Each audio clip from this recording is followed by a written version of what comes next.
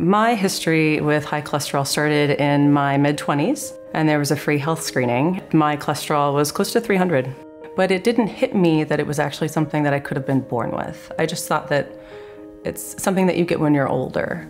So when I had Claire, we went to her pediatrician for her newborn intake appointment and they had us fill out a family history. And in that family history, I said that I have high cholesterol and I noted that my father has high cholesterol. So at our two-year wellness visit, Claire's pediatrician said that she wanted to take a lipid panel. I got the call a few days later from her pediatrician that she did in fact have high cholesterol and it was like around 350 and I wanted to cry. Um, I didn't, I didn't know what to do. I felt lost. I felt guilty. I felt sad. I felt every range of emotion. And she said, you know, it's familial hypercholesterolemia. There's a name for it.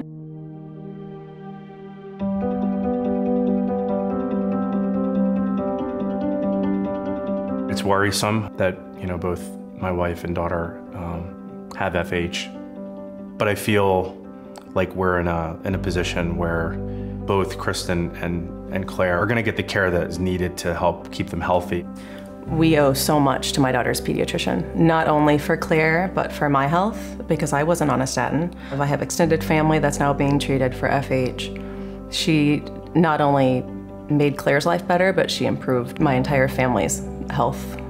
We want to teach Claire about what it means to be healthy. We try to incorporate her into our grocery shopping, try to steer her away from donuts and brownies and toward fruits and vegetables uh, as much as we can.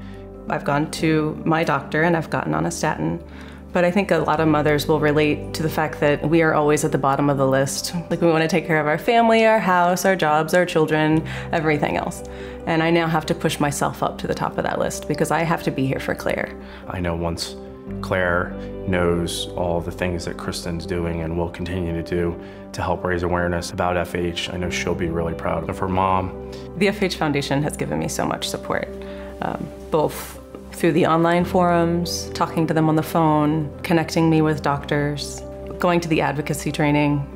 Moving forward, now that we have this FH diagnosis, and with the support of the FH Foundation, I actually don't have a lot of concerns about Claire's health, and her cholesterol will be managed.